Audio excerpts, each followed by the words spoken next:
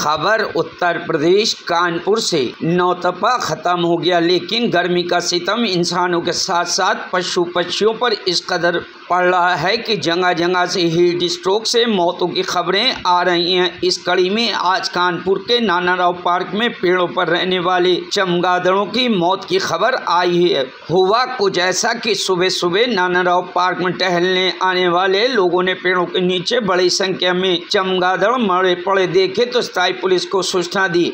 Police के माध्यम से वन विभाग की टीम को खबर देकर बुलाया गया तो देखने से लग रहा है कि मृत चमगादड़, हीट स्ट्रोक के शिकार हुए फ़िलहाल चमगादड़ों के शव वन विभाग की टीम को सौंप दिए गए और चमगादड़ों के मरने के कारणों की जाँच की जा रही है।